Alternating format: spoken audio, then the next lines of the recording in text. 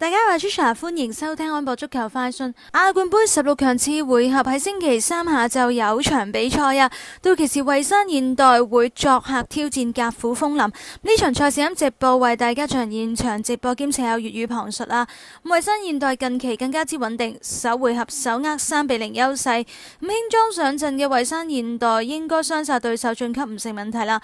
咁甲府風林呢係日月嘅中游分子，能夠參加今屆亞冠，全靠二零。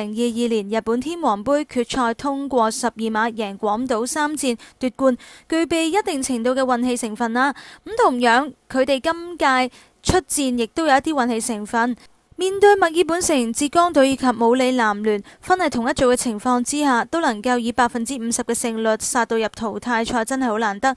作為一支次級聯賽嘅球隊入到淘汰賽，甲府風林被視為黑馬。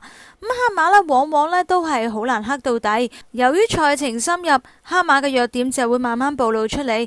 對於甲府風林嚟講，防守就係佢哋嘅弱點。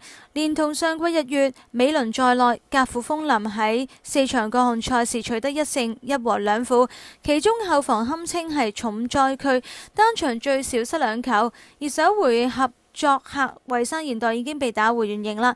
就算次回合手握主場優勢，應該都無力扭轉頹勢。惠山方面啱啱喺過去嘅二零二三年當中，成功衛冕韓職冠軍，連續兩季取得冠軍，證明佢哋喺南韓國內具備競爭力。雖然喺分組賽階段發揮係難以稱得上順風順水，始終佢哋要兼顧聯賽作戰，多線作戰之下啦，咁一定係有啲壓力噶啦。咁喺順利成功衛冕之後，惠山明顯能夠專心喺亞冠嘅十六強當中，所以首回合佢哋面對甲府風林係毫不留情。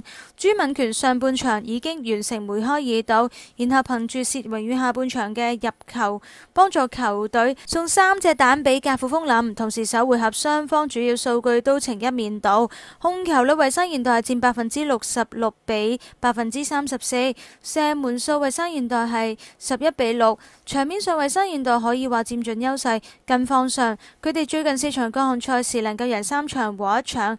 進攻方面攻入最少兩球，而且上一次亞冠聯作客都能夠以三比一取勝，有見及此，惠山現代絕對有能力雙殺甲府風林啦。中意呢條片嘅話呢，就記得俾 like 同埋要 subscribe 我哋嘅 channel，再 share 埋俾你啲朋友仔睇。咁我哋下條片再見，拜拜。